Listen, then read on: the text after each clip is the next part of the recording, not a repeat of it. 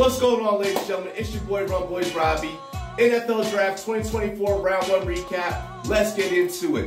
Before we begin, we are live tonight on YouTube and Twitch. Search Rumboyz Fantasy Network on both and also give us a follow, hit the like button. First up, we got to talk about the fact that the Atlanta Falcons completely blindsided their $180 million quarterback Kirk Cousins last night by no other than Michael Penix.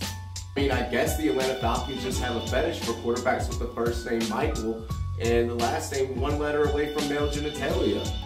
No did. Maybe the Falcons think that they're in a 2 QB super flex league. They just scrolled the F down and said ADP be damned.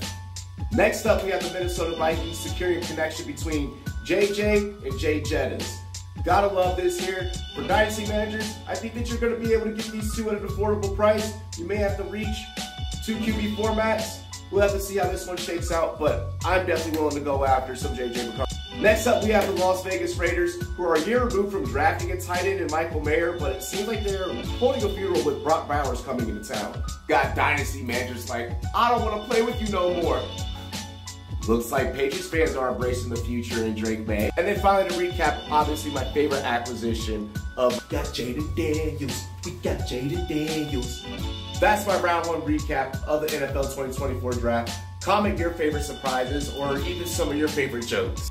Don't forget to search for us live tonight on YouTube and Twitch, Rumboyz Fantasy Network for rounds two and three at 6 p.m. Eastern, 3 p.m. Pacific.